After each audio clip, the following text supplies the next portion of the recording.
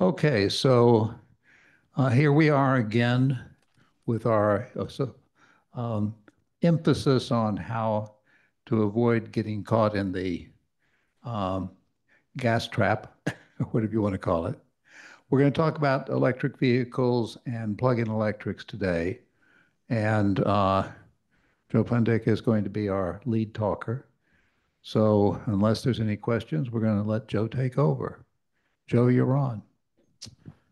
Thank you, George, for inviting me. Avatar, can you hear me okay? Okay, good. Uh, hello, everyone. Uh, my name is Joe. Everyone just calls me Joe. And uh, it's been a uh, great experience living here in uh, this wonderful Oakmont, friendly and everything else going along with it. And I feel privileged on a day like this where we finally got the sun. We had a nice, beautiful day again. I come from uh, an area uh, that is uh, New York, mainly. That's where I was raised. And I lived for over 50 years in Los Angeles and moved up here right after the 2017 fire. Our house was okay. We had already owned two houses up here, and they were both okay. And at that time, I didn't really connect the dots about the fire and global warming, and it, there probably is some connection to that. But basically, for the last three years, we've been really, really lucky here. And hopefully that it will not be a big issue. But the topics I'm going to discuss today are global warming and whether it's real, and the US, the EU, and the rest of the world are making some very difficult energy choices at this time. Now, we have to choose too whether we're going to drive a battery electric vehicle, an internal combustion engine, an ICE, a hybrid car, or a plug in hybrid EV. So that's quite a lot of choices we have. And I'm very uh, interested in all four of these. So I've paid a lot of attention in my life to uh, saving of energy, and that's been my basic occupation for the 60 years or so that I've been a uh, chemical engineer. Now, when you're buying a car, affordability is a very important consideration, of course. And whether you have one or multiple cars, you know, we're getting up in our years becomes a time where whether do we still really want to drive? And the plug-in hybrid that can be charged by electricity and gasoline is a very interesting uh, development. Actually, General Motors came up with the Volt, the V-O-L-T, which they have decided about five years ago that they wouldn't continue. But I see a couple of Volts right here in Oakmont that look in really great shape. And the way the Volt was designed was a hybrid, but different than the type that we can see today. Now, I'm going to discuss the BEVs, the battery electric vehicles that are available in the US, their costs and tax credit. I have tables of that. And the good thing is this presentation will be available for people to uh, see at home and go through some of the tables that I've accumulated. And we are lucky enough to have tax credits, but there's a certain eligibility issues of whether your car that you chose and whether your income is within the right area, which makes it a little more different to uh, choose whether you want to be uh, or able to take advantage of the uh, tax credits. Now, I've consulted for oil refineries, nuclear power plants, geothermal power plants, solar, wind, renewable power plants for over 50 years. And I've been an early adopter of solar and hybrid cars and battery electric vehicles. I've been a real proponent of all of these uh, issues. Now, I know, and uh, after dealing with many uh, anti-pollution developments in my lifetime that combustion of fossil fuels pollute our air with carbon dioxide, carbon monoxide, NOx, sometimes natural gas, and SOx. SOx are sulfur oxide, SO2s, SO3s, they all can play a role. These gases, plus water vapor, re-radiate solar energy, making our planet hotter than what maybe it should be.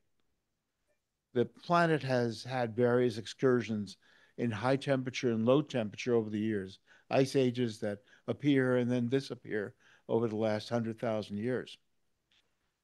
Now, the measured CO2 in the atmosphere over Hawaii, which is where they ju ju judge how much CO2 is actually accumulating in the atmosphere, dropped during the COVID period, but it's now increasing again, which is very interesting that it happened that way. It's actually a very positive thing that it happened. Is global warming reversible is a big issue. Is, is it possible as the icebergs have melted in many areas, uh, mainly in the northern hemisphere. Southern hemisphere is still a little colder than the northern hemisphere, but there too, we're seeing the effects of global warming.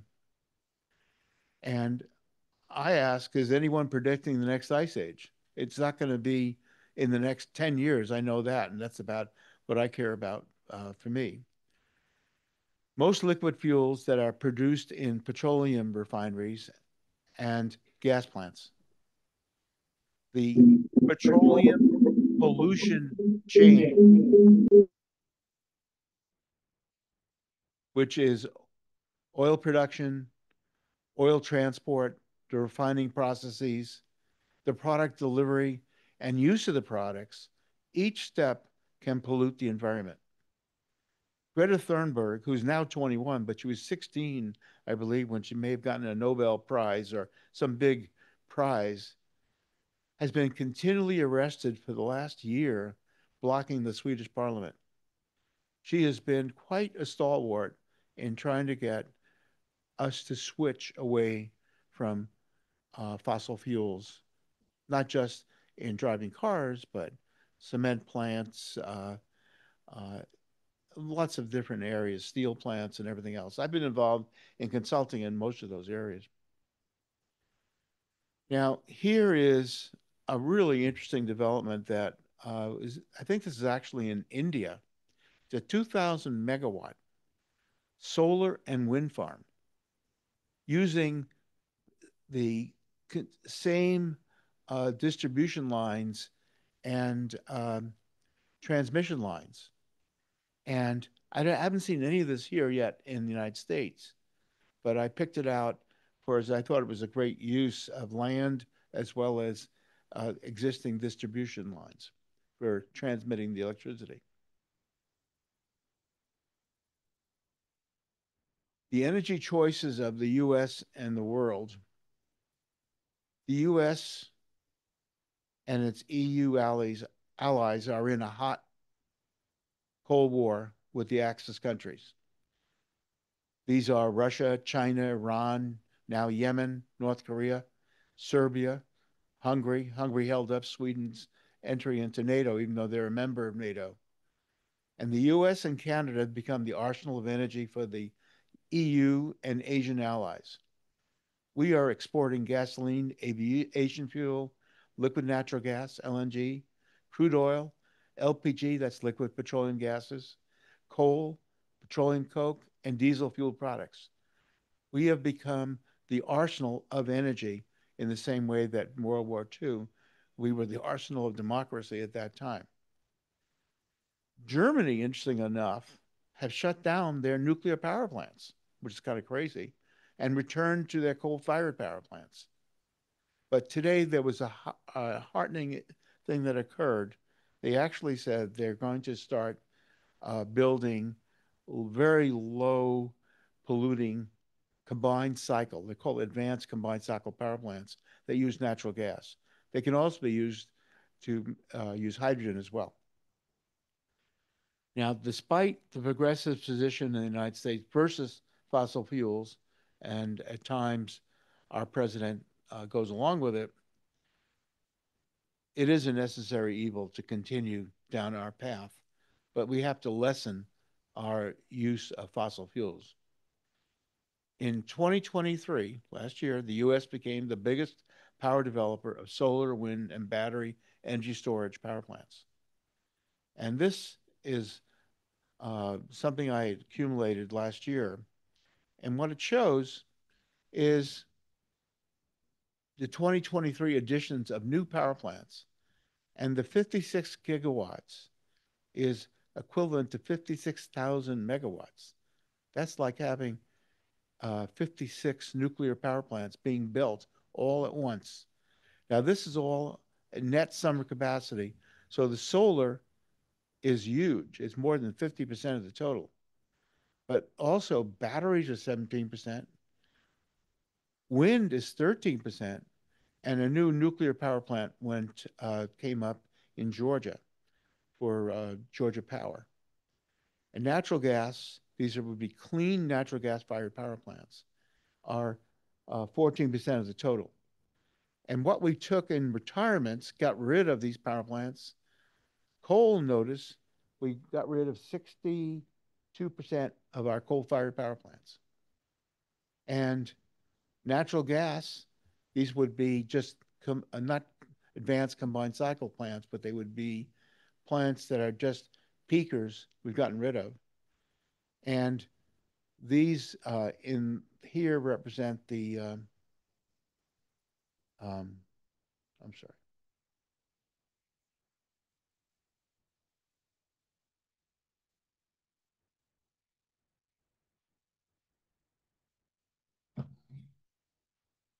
These represent the petroleum.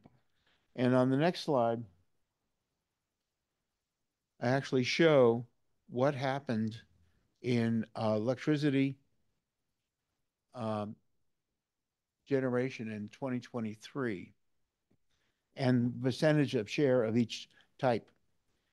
This brown line, starting in 2002, 2001, to the current 2023, the use of coal producing electricity went down from 50%, and that was been over 50% for many, many years, went precipitously down over the last 20 years to where now it represents just over 15% of our, our power usage. While natural gas, uh, using advanced combined cycle power plants, which are very clean, very low NOx produ production, uh, is now up to over 43%. That's the blue line.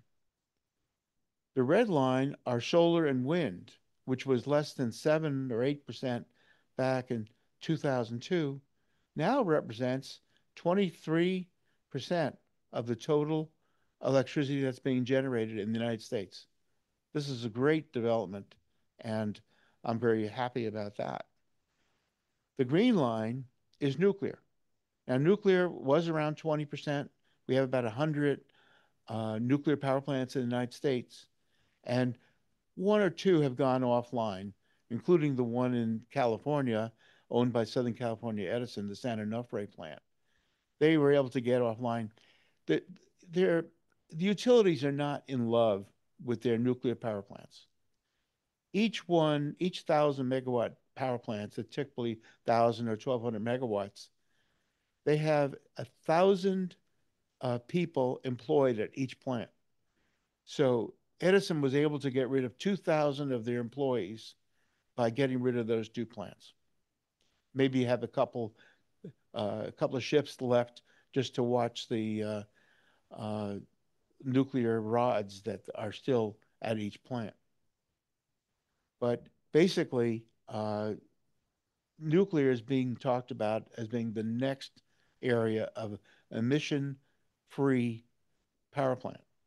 Now, the Sierra Club, for many, many years, fought nuclear, but now it's being considered, again, emission-less type plant, even though it uh, does have, uh, you know, issues regarding the uh, uh nuclear rods that spent nuclear rods.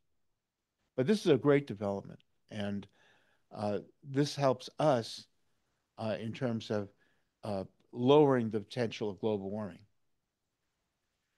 Now, the politics and and the oil petroleum oil pollution chain are a real big issue. The search and discovery of petroleum crude oil has caused wars and pollution for the last 50 years or longer.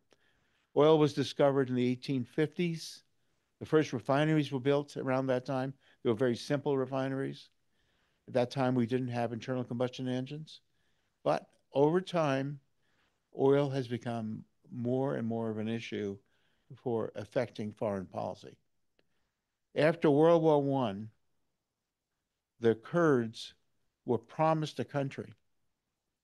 And in 1923, they were unpromised a country after oil was found in the Kurdish area in Iraq. The Kurds were, are now dispersed in Turkey, Iran, Syria, and Iran, resulting in new wars over those issues. And of course, there's a lot going on in that area because of that. So the Turks are at war with the Kurds. Iraq has a thing going on. Iran is in, at war with the Kurds. And our troops are in the Kurdish area of Iraq. We're protecting them and using that as a basis to go after ISIS.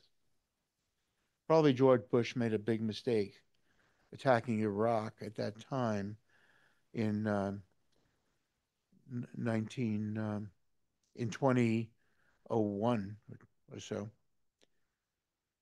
Yes. I'm going to go faster, but George, uh, there's a reason for I'm doing this. Okay. Mideast oil has caused much turmoil for the West. Oil embargoes by OPEC twice. Transportation of oil in ships and pipelines caused numerous oil spills. The huge Arco oil spill, now British Petroleum, near Santa Barbara in the 1960s, was tragic. It was the beginning of the big ones, oil spills. The grounding of the Exxon Valdez in Prince William Sound, Alaska, caused a large spill, uh, spill there too. The BP deep well explosion in the Gulf of Mexico caused the worst oil spill ever.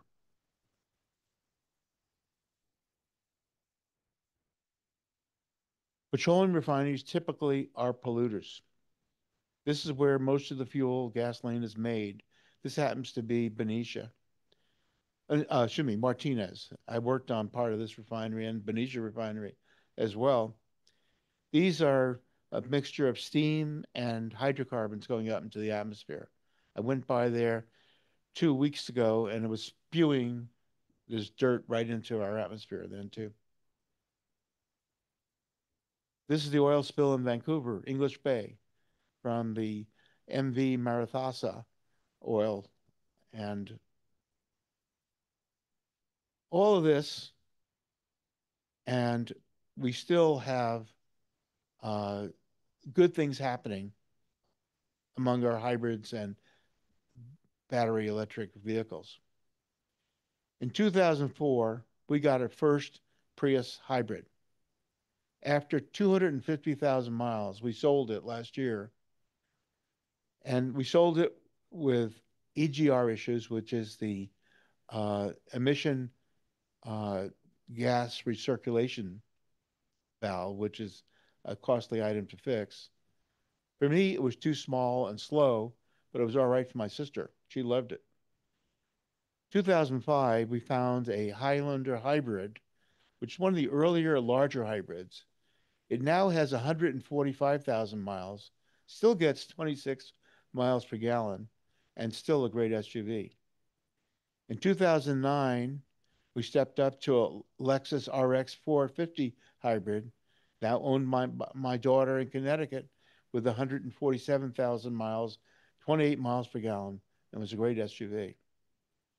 In 2010 is when I finally got wise, installed solar photovoltaic, solar hot water systems to our home, and lowered costs by $3,500 a year.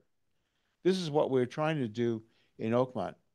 One of the things that we're still getting huge bills, those of us who have solar are not getting huge electric bills, but we're getting natural gas bills that are out of this world.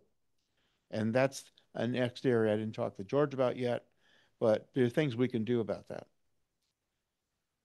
In 2010, I leased an early Nissan Leaf. I, it was delivered 14 months.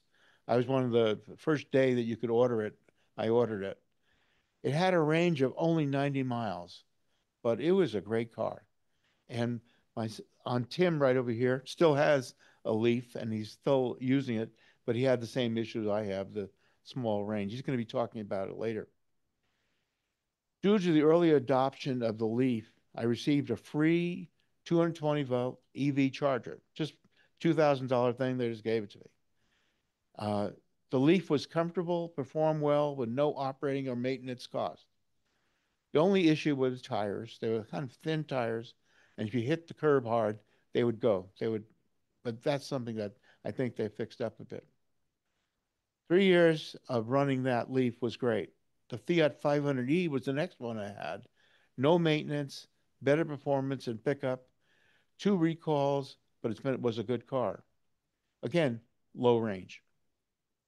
Now, in 2018, after test driving the Tesla Model 3 sedan, I ordered the 2020 Tesla Y. It took about 14 months to deliver that one as well. And the Tesla Y battery electric vehicle that I received in July of 2020 was the best car I've ever had. Colleen liked my my wife. Colleen loved that car so much that she ordered a Tesla X, and that's she loves that car. She does fifteen thousand miles a year on that car.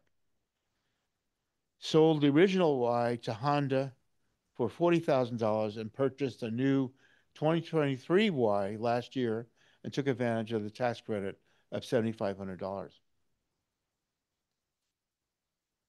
Now, as a result of this personal journey, journey I went through, I came to the conclusion we don't need ICE cars, internal combustion engine cars. We can just get along without it.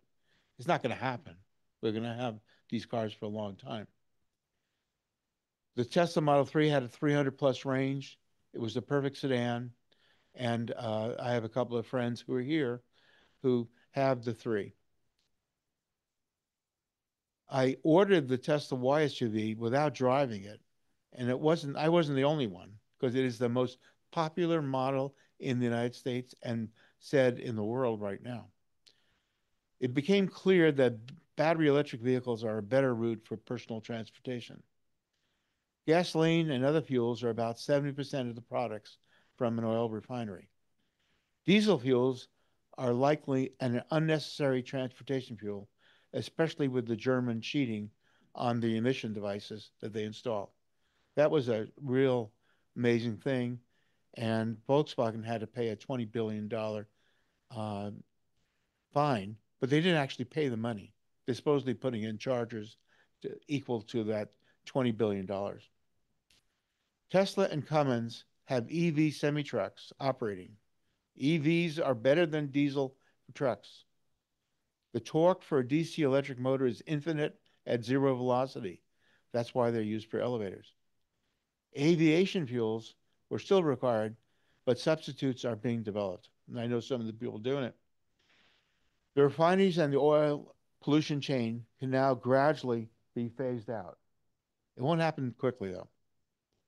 Here's my Tesla Y uh, in red, and uh, it's just amazing car.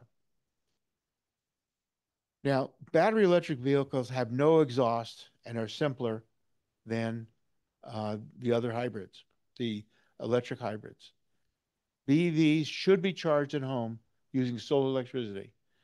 And the biggest advantage for me is no trips to the gas station. That is the biggest advantage.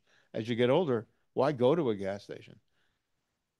Electricity produced by home solar fuel my two BEVs air conditioning, water pumps, two fridges, etc. The solar electricity cost is low. It's 8 cents a kilowatt hour amortized over the 25 years over the cost of my solar uh, installation. And this is only true due to the net energy metering rules that we have in place in California that the electric companies were trying to get rid of. Now, the drive is superior to an internal combustion engine due to the inherent torque advantages of an electric motor. The battery lowers the center of gravity, improving handling on curves. Tesla acceleration is very quick, especially with one pedal driving. Now, the BEVs have minimal maintenance issues and more, since it's still a relatively new area, electric motors last 500,000 miles or more. The only things I need on maintenance are wipers, wiper fluid, tire rotations, and tires every 20, 25,000. I still haven't gotten to my first round of tires. Lithium-based batteries have been proven in millions of BEVs. So that's one issue that we have to deal with still uh, is the battery. The battery requires temperature control system. At zero degrees Fahrenheit, as exper people experienced this past winter, then it may be problematic. Now, I was up in in uh, Yosemite with my um, electric car, and we got down to just 30 degrees, maybe 28 degrees, and was outside. We had no trouble starting up the next day, whatever, or even charging. But there have been lots of people who are in Chicago and whatever who I guess can get below freezing, below zero degree. Now, I also have discovered that the 12 volt battery that every car has, both regular cars, ICE cars, but also battery electric cars have, can be a problem, software issues. The Kia, the Cadillac Lyriq BEV has some issues, but not Tesla. At 22,000 miles in three years, our battery is still functioning very well. Now, comparison of hybrids, uh, plug-in hybrid electric cars, and Tesla BEVs. Typically, hybrids, PHVs, and ICE vehicles require the following. A dealer to test drive, haggle the price, purchase, and perform maintenance. Need gasoline stations, waiting in line, Costco. $6 gasoline really causes the lines to grow. Gas engines, starters, starting battery, spark plugs, fuel injection systems all need maintenance at various times. Hybrids also need electric motor and battery to operate, but that's the least important issue. They, they operate for a long time. Plug-in hybrid EVs, Tim, on my right, is going to be talking about it, need a charging port, larger charging battery, and charger control system. Now, regular engine maintenance, oil changes, brakes, tune-ups, air, and cabin filters are still needed on hybrid cars. Transmissions with multiple forward gears needing transmission oil and coolers are part of the deal radiators with glycol water coolant, servicing, gasoline tanks, gas filters, exhaust systems with the EGR valve, that's the emission um, gas recirculation valve, mufflers and catalytic converters, and that's become a target for thieves. It requires smog testing every few years and take that take time and costs. Now this is a RAV4 I also have seen, this is early in the morning, and what you're seeing here is vapor and gas coming out of the mufflers of this car. But I've seen it actually in a Prius Prime last Wednesday morning when I went to the doctor at a quarter to eight. So you still have pollution with even Priuses and uh, other cars. But listen, there's a lot of advantages to a Prius. That 50 miles per gallon. It's a one, and and when you get it with the uh, plug-in version of it, I think you get as much as 65 to 70 miles per gallon. It's kind of unlimited. Now, we have serious problem with our air. This is before pictures in Milan, Italy, three months after the COVID lockdown and before. This is the clean air. We don't think of Milan as being, but I, as being terrible air. But I, I times I've been there, I, I realized it had. But LA has got the same thing, and I got to show them pictures of LA before and after too. But LA has done a lot in cleaning up its air over the last uh, 20 years. Now, this is a table, a calculation. If you want to put in solar to run your uh, fuel for your electric cars, plug-in or uh, regular electric cars. BEVs. So typically, a solar PV system produces 1,300 kilowatt hours per kilowatt. And that happens to be installed in 2023 on my, this is actual measurements of my, my house. And I have not the best uh, exposure to the sun uh, because we're in the, in the uh, shadow of Annadel. So this will be available to you, but that's the big number. 1,300 kilowatts per kilowatt will give you that many kilowatt hours. Now, how do you figure out how many um, kilowatts one needs? This calculation shows, and uh, I'll go into that a little bit later. But basically, my wife's X is less efficient than mine. She gets 3.5 miles per kilowatt hour. And so she drives 15,000 miles, divide that by the efficiency, it's 4,286. You can get these numbers from the EPA, but these are actual driving numbers from my wife. My Tesla Y is more efficient, it's 4.1, it's equivalent to 135 miles per gallon. And uh, I only drive 5,000 miles because she likes to do all the driving. So uh, between the two, we we use about 5,500 uh, kilowatt hours uh, to produce the fuel for our two cars. Now, the beauty of that, of course, is we don't pay for gasoline. And we have a large enough solar installation. We're about nine and a half kilowatts. And I have upped it uh, to account for that. By calculating this, I found out how much I need. A, I need, if I had a 400 watts um, per panel, 11 panels would cover the need for the annual use of the um, fuel for my two cars.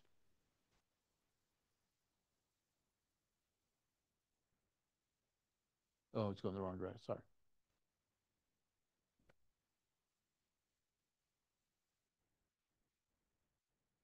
Now, internal combustion engines, vehicles, hybrids are generally better than standard internal combustion engine cars because they use less fuel per mile and have longer range and longer lifetime. You see the difference in trucks. It's just a great deal. And the savings uh, are tremendous. You look at a Prius getting over 50 miles per gallon over a car that maybe gets 30 miles per gallon, an efficient car. That's not a, uh, a hybrid. The long term effects of that is great. Now, the lower fuel consumption produce less exhaust pollution and uh, than a standard internal combustion engine. But hybrids, PHVs, still require gasoline, which leads to oil pollution chain. The oil business is profitable for investors and workers, but I have a feeling it's going to last for 50 plus years more. And it's hopeful global warming is reversible, and the sooner we wean ourselves from fossil fuels in transportation, the better off it is. I just looked it up before I came here. We, in the United States, 30% of our uh, emissions of CO2 come from transportation. In California, ICE vehicles may be sold only to 2035. Gavin Newsom thinks this is a great law, but I have a feeling that he'll be out of office and that law will likely be changed. And uh, I think it's very unfair because they're, it's really an affordability issue for many people. We got probably 50 million cars with 40 million drivers. You know, it's it's pretty amazing how uh, how much cars we have in California. But of course, purchasing of used vehicles has not been outlawed. And so that would probably be a loophole, even if the law didn't stay the same.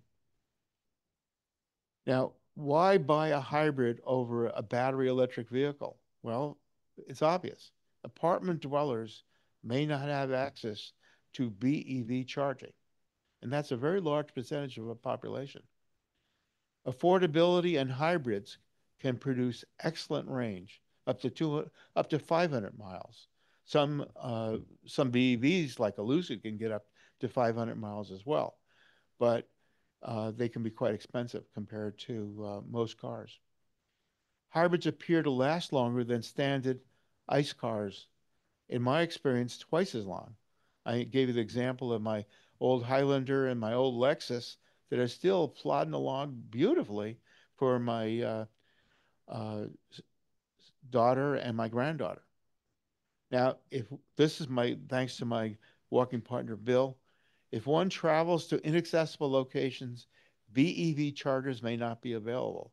So you basically, you know, your emission profile needs you need a uh, gasoline car. The ability to carry gasoline in a transportable container is also a, a good thing to have. Make sure you have a car large enough. Now, due to the IRA tax credit, investment costs are investment costs are now about the same between hybrids and EVs. EV prices have come way down. I'll explain that later too. Now, the main vehicle costs are depreciation, insurance, fuel, and maintenance. Depreciation and insurance, the fixed costs, overwhelm any cost for fuel and maintenance costs. If you want to save money, don't you don't need to buy a solar a, a BEV car at all. I think in many cases the hybrid will be just the same. Toyota has done a great job on hybrids. And it all depends on how you feel about the environment as well.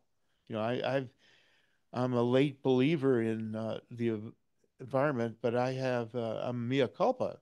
I'm one of the people that caused a lot of the issues by working for the refineries for those 50 plus years.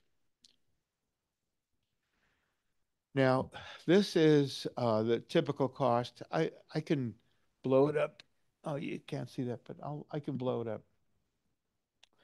But basically, uh, I can read to you that I, my BEV, electricity uh, cost and the cost per mile is two cents per mile.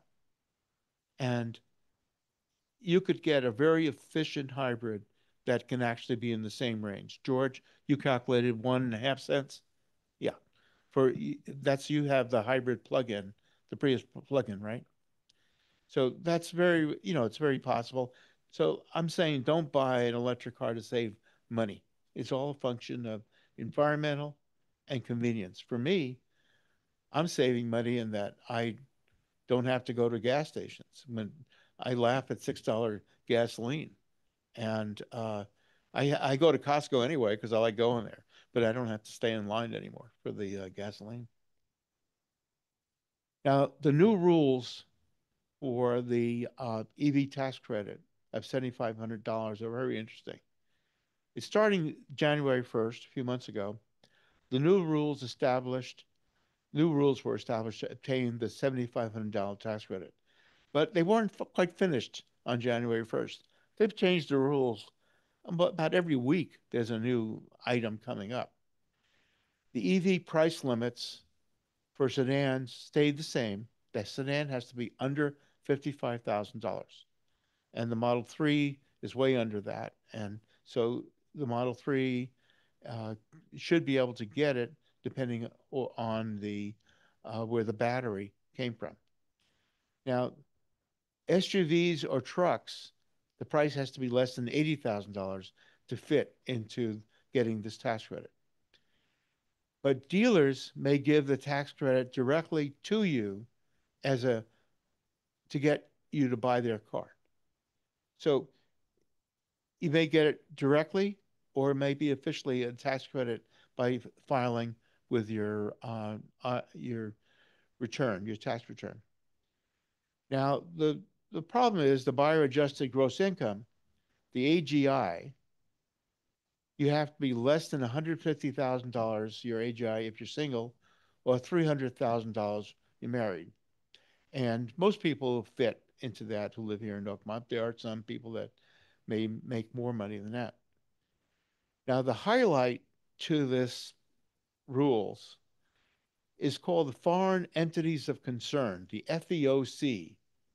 The new access countries that I highlighted earlier, uh, Russia, uh, and, so on, and China and on the list, they're out. There's no way they can get the tax credit unless they build it in Mexico.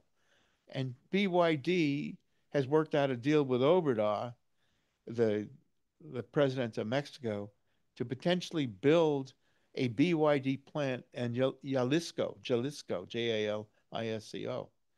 And that, with the agreement we have with uh, Mexico, uh, they might be able to bring that car in to this country. But this is all, you know, a lot of rules and whatever. Anyway, uh, EVs with components from the FEOC countries don't get any credit. So they might only get half the credit if it works out. Now, EVs that have 50% of the material sourced from North America or eligible countries, and Japan and Korea are in there, South Korea, are eligible for the rebate at 3750. But there is one material which you can't really believe that still we can't get, and that's graphite. China controls the graphite market, and it's an ultra pure form of graphite. It seems to me that we could be doing that right here in this country. Now, obtaining the full credit for this, uh, for your batteries, 50% of the com components has to come from USMCA, that's Canada, Mexico, or those with a free trade agreement with the US, Japan, South Korea. So these are complex rules, but in the end, the only way you'll really know is you go to your dealer that you're dealing with. And with Tesla, you don't have really have a dealer. You can go there, but you do everything online when you buy a car. Now, the table of new US made BEVs in March of 24. So we're in the same month. So Tesla has four cars, uh, vehicles, the three, the Y, the S, and the X. And it's possible to get the tax credit with the three, probably half. The Y, you'd get the full 7,500 the Lux sedan, what's called the S, you wouldn't be able to. And because uh, it's $70,000 price. Or, but the X is an SUV and you can get a full $7,500 tax credit. And the price of that has gone down to $79,000. So it's, I can't say that it's uh, afford affordable, but if you have a little money and just last, in my case, uh, we justified buying the X because it's our last car. You know, we don't have to worry about it anymore. Now, I love that the Ford Mach E sedan, it's all-wheel drive. My friend Gabriel owns one, loves it, except he has had problems with charging the vehicle on the road. It's only about a $49,000 car now, and it would probably get 3750 of the tax credit because of the battery issue. But go to the dealer and it's all negotiable. The Ford dealers are trying to get rid of them because people have stopped buying EVs. And uh, it's unfortunate, but that's what's happened. Now, the Ford Lightning is the F 150 Lariat pickup. It's a great car, $75,000. Get a full $7,500 tax credit. And again, it sold like crazy the first year it was out, and last year they couldn't give them away. People weren't interested in them. So it's a shame, but people who would buy pickups don't necessarily want electric cars. Now, the Bolt EUV that our friend Peter has, um, and I think Marilyn has too. Um, she's a member of the Future Club, Marilyn Parr. Uh, it get the full tax credit and uh, but there's been issues with that car, which we can I get into later, maintenance issues. Chevy uh, Silverado pickup uh, should be able to get it, but the Hummer pickup, which is a hundred and five thousand dollar car, not. And uh, it's a huge car, but the dealer price is very negotiable because then Actually, the Hummer is selling really well because uh, there's, I guess, a uh, uh, certain group of people that really like it. Now, the Rivians are great cars. They're brand new companies, just like Tesla was, but they've only been operating for the last few years. And they have a pickup, R1T, and a SUV. And both nice looking cars We see a couple of those around here in Oakmont. And my son really likes the R1S, uh, the SUV.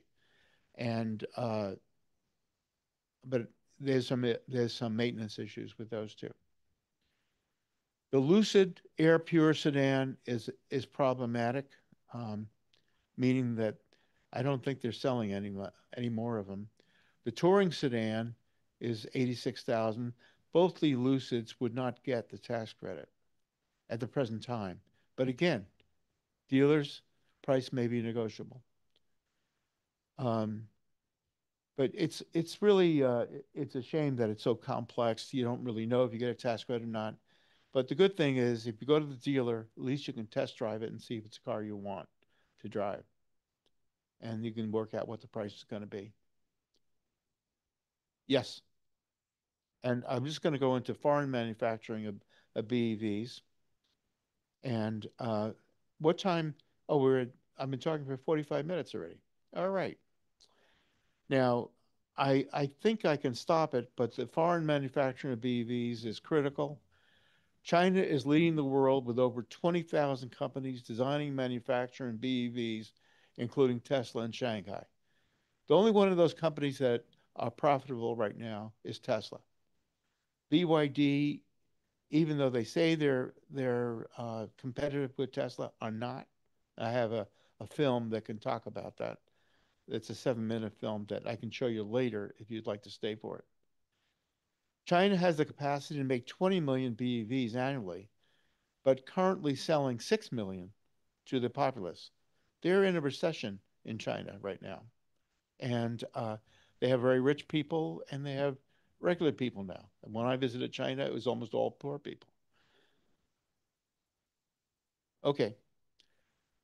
Um, one thing, China firms manufacture many European vehicles, including Volvo, Volkswagen, Polestar. And so they're all made in China. Tesla has a major manufacturing in Berlin. Germany's Volkswagen, Audi, Porsche, BMW, and Mercedes make many models, and they're talking about making them in the United States too. Stellantis is a major is a merger of Fiat Chrysler and French PSA Group and have some BEVs for sale in Europe, but not here yet. Here's this long table of all the European. The most promising one is the Honda, and the Honda Prologue has just gotten the $7,500 tax credit. And I would look at that car. It's a beautiful looking car. There's an issue with range. I think it's only a 250 mile range. Toyota also has a joint development with Subaru, Subaru. It's the Solterra and the BZ4X. And they both have low range, 210 mile range, but they're nice cars and uh, one may want to look at them, just go to the dealer. They're probably selling them for cheap right now. Now, I'm not going to go into why Tesla is a leading manufacturer of BEVs. You don't need to know that. We can talk about it separately. Here's the best 10 vehicles that Consumer Reports uh, have made uh, after polling their people. Uh, this was the March 24 Consumer Reports. The EV Tesla Y dominated U.S. sales, replacing the Model 3 that topped the list uh, uh, last year. So the EV is a Tesla Y. But Toyota has four of the best vehicles made, all hybrids. And as you notice, I have a Toyota Highlander and a, Lexus, which is, of course is also made by, by Toyota. The midsize sedan Camry hybrid the Prius hybrid and plug-in PHEV, the PHEV SUV RAV4 Prime, and the midsize SUV Highlander hybrid. It's funny that they call that a midsize because that's a pretty large hybrid. Now, Rivian had the highest owner satisfaction with 86% pleased, but they have, they've got some issues with the car. Small car is just a regular Mazda 3 and it's not a hybrid. The subcontract SUV Subaru Crosstrek, which I think may be available in a hybrid. I'm not 100% sure about that. The compact SUV is the Subaru Forester. The luxury SUV is the BMW X5 X6 combination, X6, which is a PHV plug-in hybrid. The small pickup is the Ford Maverick. So you have a lot to choose from in uh, luxury type cars. Now, the People's Republic of China subsidized EV production for the 20 plus Chinese manufacturers. They have vowed to try to put Tesla out of business. And they're keeping Tesla there. They stole a lot of Tesla's work in their cars, but Tesla uh, still feels that they can produce some cars and bring them in here. The Wall Street Journal of March 4th China car makers develop new models more quickly than the US or EU countries. BYD is the foremost Chinese manufacturer promote, and was promoted by Warren Buffett of uh, Berkshire. Unfortunately, I, I, he's trying to sell his, his stock at this point. But BYD is a very organized, well run company. But there was an article in today's paper that they're losing money on their plants in, uh, in Europe and other places. The following is a seven minute film discussing Chinese EV manufacturing process progress. You'll be shocked. But I'm not going to do it right now because we got other things to do. My conclusions vehicles are tools that carry people and goods and must fit buyer's mission profile. We live in a, free society and generally can choose whatever vehicles we wish. Affordability is very important, and the tax credit lowers the cost of most BEVs and hybrids. Tesla Supercharger network makes travel convenient to most places in the US. The Tesla Supercharger network is increasing and generally well maintained. The cost to charge at a Tesla Supercharger is 40 cents a kilowatt hour, which is very fair. It's actually lower than the PGE peak pricing. At home, for me, it's just 8 cents a kilowatt hour using my solar. Used EVs can obtain a $4,000 tax credit. So the Nissan Leafs, which you might be able to get at the dealer, or the Fiats, which are great cars, but low range, could be probably bought for under $10,000.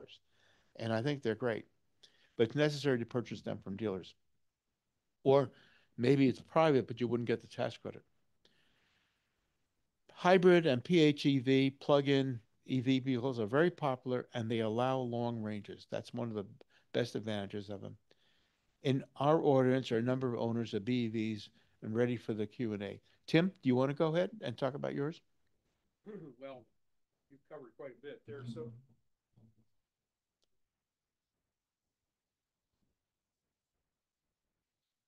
if I went a little long, it's because this topic is a big topic and it costs a lot of money. But um,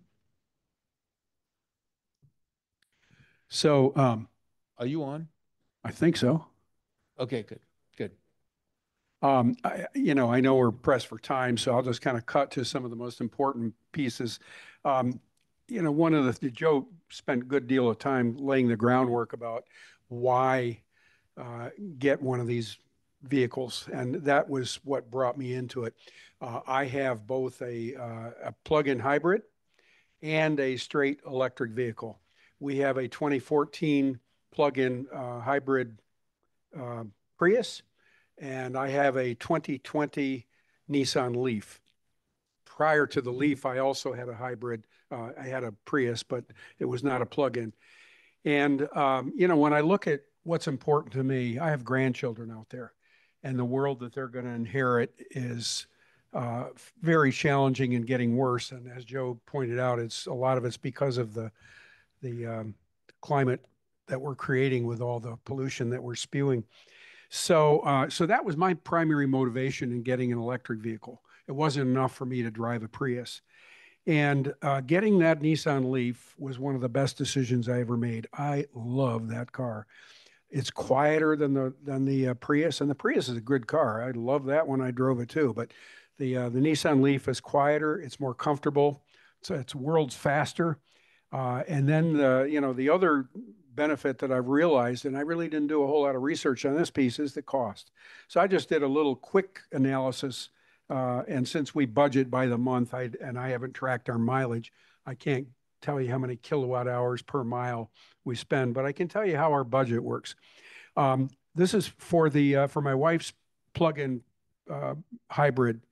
The fuel cost is $53 a month. That's what she spends on gas.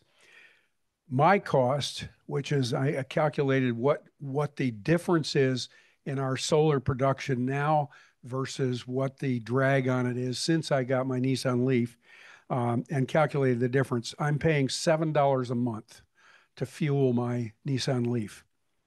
Uh, maintenance cost on the Prius has averaged over the last two years $91 a month. My Nissan Leaf, $4 a month. so the, uh, the, the point that you really want to look at is, you know, what are your goals? If you want to go green and you feel strongly about the environment, uh, either one of those type of vehicles would be a good choice. Um, if you uh, really like the idea of complete transformation in total cost of ownership, then uh, then look at a an electric vehicle. And with the kind of ranges they're getting today, now my my Leaf gets about 150 miles. That's that's the stated mileage. But if I use the air conditioner or the heater, that cuts it down by at least a third, maybe more.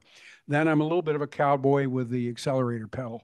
Um, and so that cuts it down even further. So when my battery is fully charged and it says I have 150 miles, it's probable that I'm only going to get 75 miles out of it. So uh, there are not a whole lot of places I want to go outside of Sonoma County and, and rely on that charge. So, uh, so we keep the, uh, the, you know, my wife's Prius for our longer trips. If we're going to go into the city, um, you know, if we're going to drive to Portland or whatever it is, we'll use the, the, the hybrid. And for all the around town driving, it's always the Nissan Leaf. So it's a it's a perfect car for around this area. Uh, as Joe showed, there are a lot of hybrids. I mean, a lot of um, uh, EVs coming out now with ranges easily up into the 300 and even 400 mile range. If you've got the money and you want to invest in one of those, that's it. Really should take away any concerns about range because if even if you couldn't make it for the full, say five, 600 miles that you might want to drive if you're going from one end of the state to the other, uh, you can stop and have dinner and uh, you know in a period of about an hour with a fast charger now you're going to get another couple hundred miles so I, I, think range is getting to the point where it's just not much of a consideration at least with the newer evs uh, in my case with an older ev uh, older it's only a you know it's a three-year-old car uh, four-year-old car but uh, you know the range is substantially less um, I never buy new cars because I don't think there's a lot of value, uh, or there is a lot of value that you lose just as you drive it off the lot. So if you're thinking about getting an EV and you haven't taken the plunge yet, my advice would be find yourself a two or three year old uh, EV as a used car, and you you're probably going to get a much better uh, buy on it, and uh, it'll give you a chance to sort of break it in. As Joe pointed out, uh, if you're going to do that, you really want to have solar on the house because it it is going to drive your electric bill up if you don't have solar. Um, that's probably about the gist of my comments. Do we want to throw it open for questions, George? Or? I want to make a couple of comments first. Um, I think what you've heard here is a little bit of proselytizing from those who have this particular faith. And I think that it's safe to say I'm another one of them. Uh, but we're also dealing with true economics. Um, let's see if I can figure out how to do this. There we go. So you think about a plug-in. It's really fairly simple to plug in your vehicle. This is a Prius Prime, a modern one. I have an old one. Um, Joe was showing you some of the numbers. Uh, this was from a green cars listing. Uh, the plug-ins are right in there with the electrics. Okay. A plug-in, think about it as having a small uh, distance you can go. But how much more, how many days a week you go more than 30 miles? Okay. It would be very rare for us to do that more than one day a week. Any other time we're taking the car out, where are we going? We're over to Oliver's, maybe downtown. Okay, so we use our uh, uh, uh, plug-in, and I would say that we hardly ever use gas. We're always using uh, battery. Um, however, if we get down as far as Petaluma, you know, we're going to use a little bit of gas. And if we decide, well, heck with it, we want to take it into San Francisco, don't have to find a place to plug it in. We're going to use gas, but it's a hybrid glass gas. So therefore, it's a very efficient uh, internal combustion engine. I would say we normally are now getting around 200 miles to the gallon for the for the combination. Okay, um, and we charge ours overnight using a 110 outlet. Uh, very easy to do. Okay, now obviously you are using um, electricity.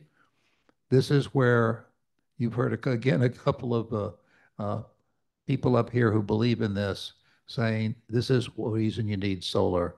And by the way, it just it makes more sense to do solar today, even if you don't have the old rate structure.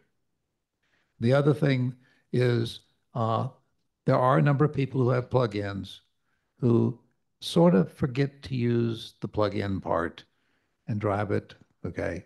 So it really means you got to say every night I'm going to plug this sucker in. Okay. Uh, I'm going to go real quickly. Um, let's just skip to the next table. Okay. Whoop, there we go. Um, I'm using here 15 cents a kilowatt for the solar. Okay. The reason is because although Joe gets 8 cents, He's on the old system. If you got new solar, it'll be 15 cents a kilowatt. So take a look. Gas, 12 and a half cents, hybrid 10, electric vehicles 6, an plug-in 4 if you're not using gas. More like the hybrid if you are using gas. And you can see with solar that that gets to be even substantially less. Okay, um, tax credits. Um, for almost all electrics, you're going to get a thousand dollar check from PG&E, new or used. Okay, you have the tax credit Joe's talked about. Um, some dealers say that if you cannot get use the tax credit personally, that they can arrange a lease that will include it. Um, don't trust them unless they're people who you really do trust because they're just trying to sell you a car. Okay, reducing your footprint, saving money. Now we'll go to Q&A. Uh, Can I call uh, someone I brought? yeah, I was going to say, uh, Tim, you've got the uh, portable mic. Sure. Could you uh, take it over to whoever? Yeah, and, and as I'm walking it over, uh, one thing I did want to point out is that the, uh, at least my Leaf has a timer where you can decide what time you want that to start charging. And you can set it to go on at midnight or whatever, because remember, the rate structure changes after 9 PM. The rates drop. So you don't want to charge your, your vehicle while you're still paying the higher rates. Both of you, uh, the presenters have mentioned the Leaf as a good choice. I read about a, the end of last week that there was a plan by Nissan to close their manufacturing in the US, which would mean it might very soon be difficult to get a new uh, Nissan Leaf. Uh, do you know, is that true or false? Uh, they are continuing in Europe, I understand, to continue to produce with no plans to stop. Yeah, I can respond to that. Uh, the Nissan Leaf has been discontinued. Uh, and it's uh, been replaced by a new vehicle called the Ariya or Aria. Uh, it's, uh, it's a beautiful looking vehicle. I don't know a lot about it. Consumer Reports rates it as a as a good buy. I don't think it's rated as their best, but that's what Nissan has replaced the uh, Leaf with. I should also comment. Remember the comment about used cars. Okay, I can Joe has made the point that many of these vehicles have a long life. Okay, longer than a traditional internal combustion engine. Thinking about that, buying a used car from a reliable dealer, okay, is a very good choice. Uh, By the way, I have a, a question coming up on the uh, Zoom participants, so I'll go over to that in a minute. Hi, um, I did have one question, by the way, I'm a believer too. I have a plug-in hybrid and I also have solar panels. And it works exactly the way these guys described it in terms of costs and things. And I almost never put gas in it. Uh, so my question is about solid state batteries. We're hearing a lot, reading a lot, I am anyway, about that. And Toyota seems to be on the front end of that. Um, can you tell us anything about that? I can comment on that. Um, Toyota is uh, a lot of talk, and they're trying to stay alive in and not be ashamed of what they've done for the last five, six years. And they don't have a solid state battery at this point. They're talking about it. And uh, there are a lots of talk about solid state. But the tr- issue is m- making them inexpensive enough and on an assembly line basis and have many years of use of it. And so far, the company that's the best uh, manufacturer of batteries in the world is not Tesla. It's CATL. It's from China.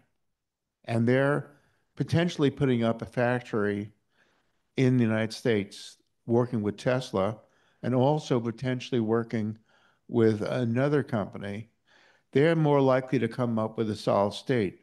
But it's not, I don't even think that is an issue because I go long range with my Tesla. You know, we'll go uh, to LA, to Oregon, to uh, Yosemite, as I mentioned. And you stop, go to the bathroom, you know, have a cup of coffee, you charge it up. The, the whole purpose of solid state batteries is to do it faster. You know, that's all. And I don't see much of a use for it. And look at George, he's happy just at 110 voltage. You know, the what's called a supercharger, that's charging at 250 um, uh, kilowatt, 250 kilowatts of, of power. And there's that's the V3 supercharger. The V4 supercharger is at 350. Now, that would speed up quite a bit by going from that to that. But because of the confusion over battery connectors, something has happened in the, just in the past year. The Tesla charging system, called the NACS, North American Charging System, has now become uniform for all cars that are being built after 2025. Ford has got it available right now for their EVs. So that's very, very important is the charging and on longer trips. I mean, I, like you, George, I don't go that far myself, but I do go two hours away. I go to the coast and, you know, travel up that, that far. And I have a charger at, at our other house as well. So I'm not worried about it. But I was until I got the charger at the other place. The, um, I, I have very fond memories of my Nissan Leaf, which had the 90 mile range. Tim has the long range version.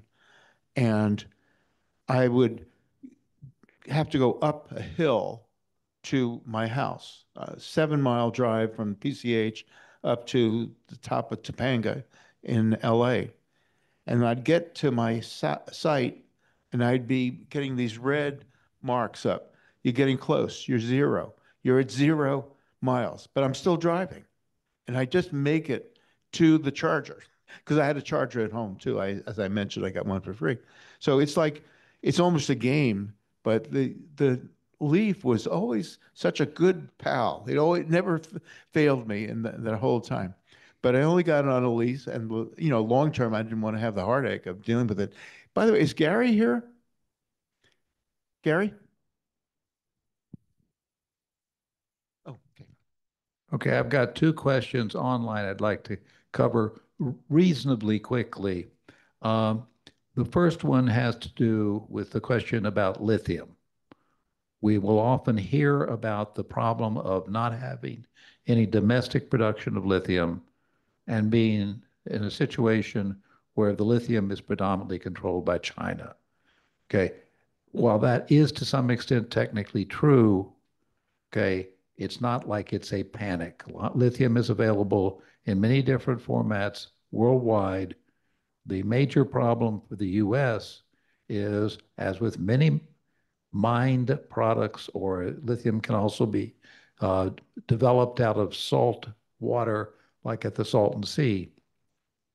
There are not in my backyard problems with, yes, we need that, but don't do it on my reservation or don't do it here. So, uh, but lithium, uh, we'll talk about it a lot. It will be at times a little bit of an issue. Don't lose sleep over it.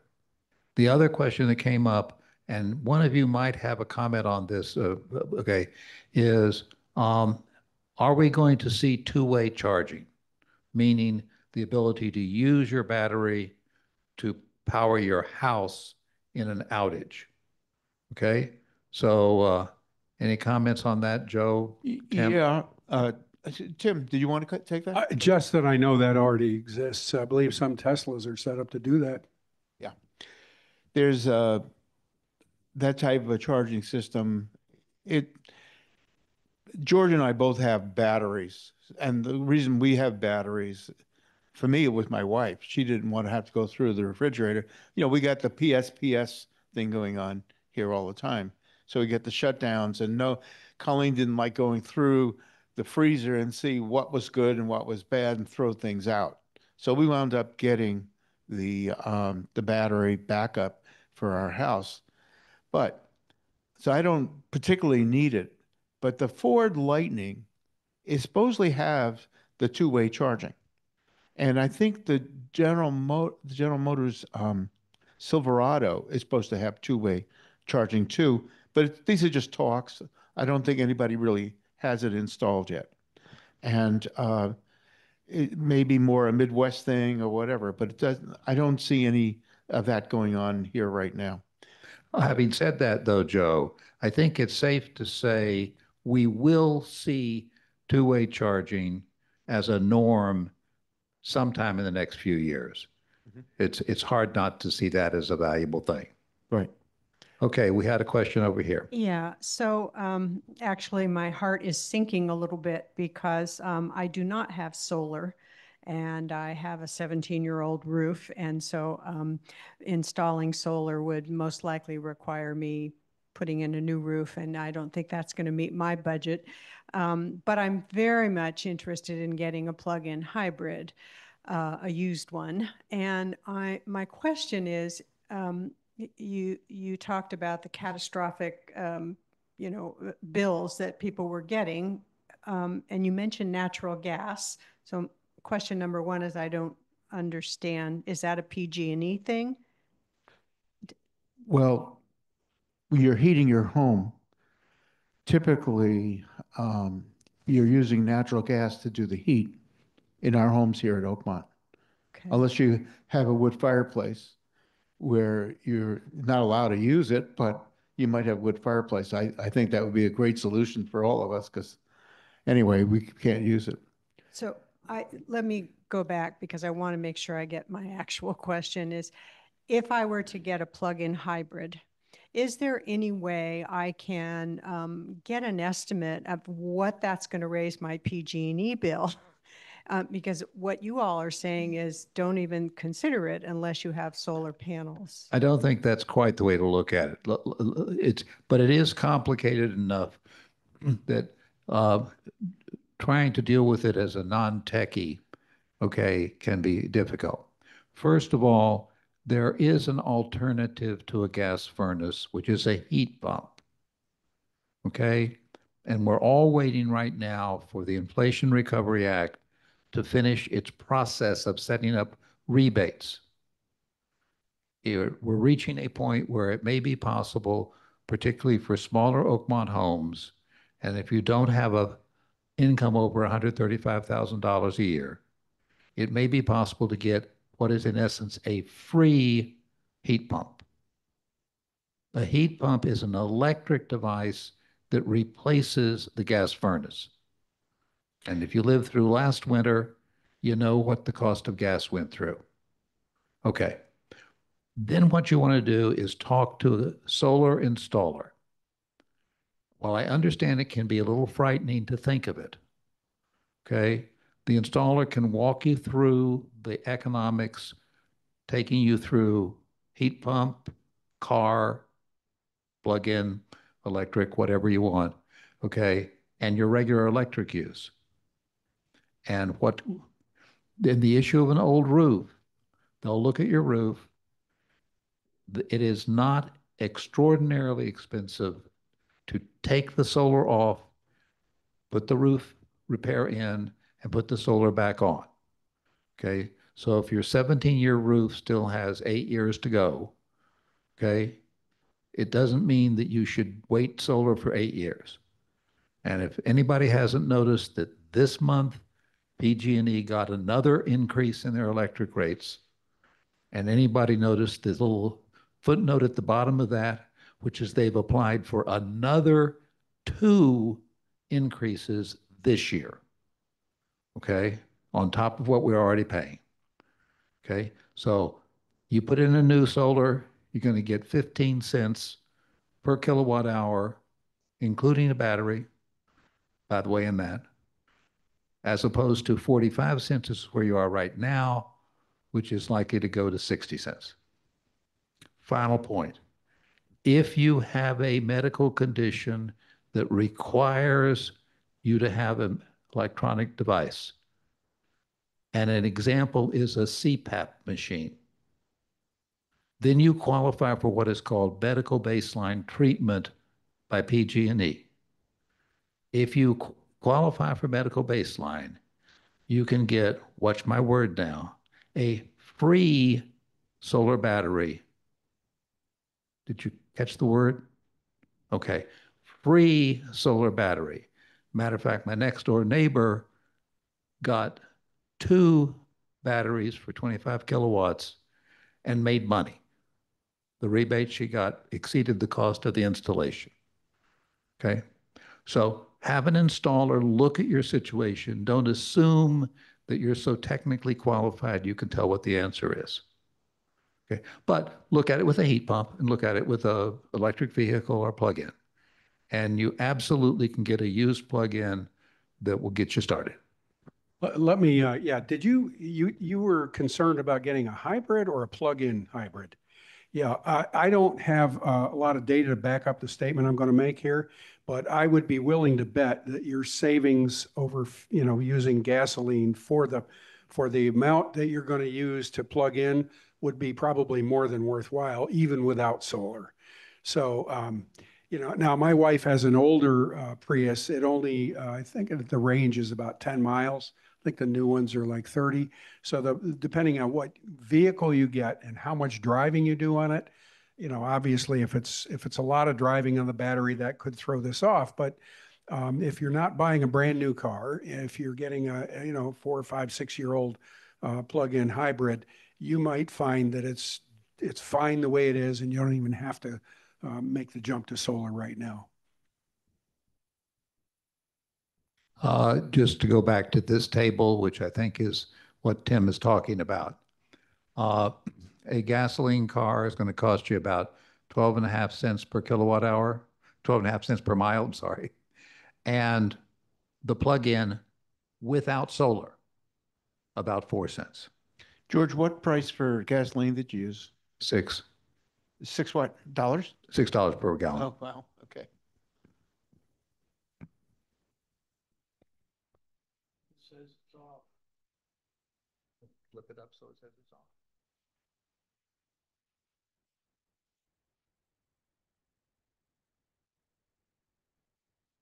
on. Test. Um, we have done what you suggest in terms of putting solar. We have 20 some odd panels on our roof with a heat pump for the heating and air conditioning and a heat pump for the hot water heater and an induction stove and had the gas turned off before a lot of the uh, cold days. A little caveat, though, about following in our footsteps with doing all of that is that we didn't get all the benefit you can from the solar um, because of the lack of sunshine over the past month or two. And so here you're counting on that uh, uh, in the winter. It, uh, you may not see the kind of results that are being discussed here. So I, I think that caveat is really worth it because we got Enphase rather than Tesla batteries. And with that, we got a nice uh, uh, software package that allows me to monitor what's happening. And we've come nowhere close to paying anything off. And I'm so glad to see the sun. I'm going to look at what happened for today because it, so far it hasn't really been worth it. But this is going to change by next fall, I'm sure. A- Anybody who has lived with solar recognizes that uh, January is not the best month to take a look at your economics. It's, But been- it's it's, a, it's a year-round analysis. it- it's been a rainy winter, unfortunately. I'm, I, I'm going to have to leave, so I'm going to, you want me to pass the mic to? Okay, I think we're at a stopping point. Joe, Tim, thank Uh, you so much. Avatar? If you have any more questions, come grab Joe at the end. And for those online, we're closing up now. Thank you, George.